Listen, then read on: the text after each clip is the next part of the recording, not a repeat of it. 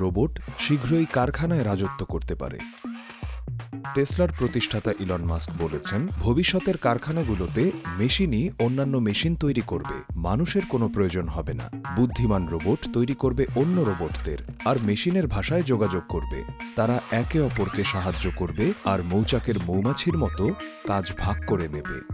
স্বাধীনভাবে চলাচল করে তারা নতুন কাজের দরকারে সহজে প্রতিক্রিয়া দেখাবে এবং যন্ত্রাংশের সংরক্ষিত নতুন নির্দেশাবলী অনুযায়ী কাজ করবে।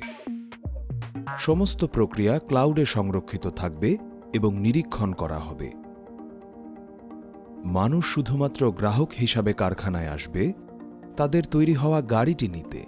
একটি কারখানা পুরোটাই একটা বিশাল মেশিন, এমন ধারণা ইলন মাস্ককে মুগ্ধ করতে পারে। কিন্তু অটো ইন্ডাস্ট্রিতে যারা কাজ করেন, তাদের কি হবে? তারা কি সবাই বেকার হয়ে যাবে? কর্মহীন পৃথিবী, জাতীয় অর্থনীতিতে ধস নামবে?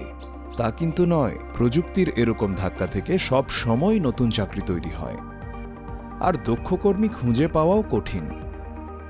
এর কারণ, বেশিরভাগ শিল্পোন্নত দেশগুলিতে জনসংখ্যার পিরামিড আসলে উল্টো। ব্যাপক অটোমেশন মানুষকে কঠিন কায়িক শ্রম থেকে মুক্তি দেয়। আর এতে উল্লেখযোগ্যভাবে উৎপাদনশীলতা বাড়ে, যা শিল্পোন্নত দেশগুলিতে খুব কমই বাড়ছে। আরও দক্ষ উৎপাদন মানে দাম কম। প্রত্যেকের যদি একটি বৈদ্যুতিক গাড়ির সামর্থ্য থাকে, তবে ইলেকট্রোমোবিলিটির অগ্রগতি হবে, আর তার সাথে জলবায়ু হবে সুরক্ষিত। তাহলে কি ইলন মাস্ক তার স্বপ্ন ছুঁয়ে ফেলেছেন? পুরোপুরি না। এখনও পর্যন্ত তিনি রোবট দিয়ে মানুষ প্রতিস্থাপন করতে সক্ষম হননি। ব্র্যান্ডেনবার্গে তার নতুন কারখানা এখনও বারো হাজার মানুষ নিয়োগ করবে। এর চেয়েও সাহসী দৃষ্টিভঙ্গি রয়েছে।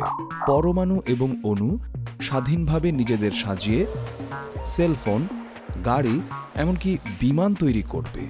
কোনো উপাদান ব্যবহার না করে বা আর কোনো বর্জ্য তৈরি না করে। আপনার কারখানার দেয়াল রোবট বা ইলন মাস্কের দরকার হবে না।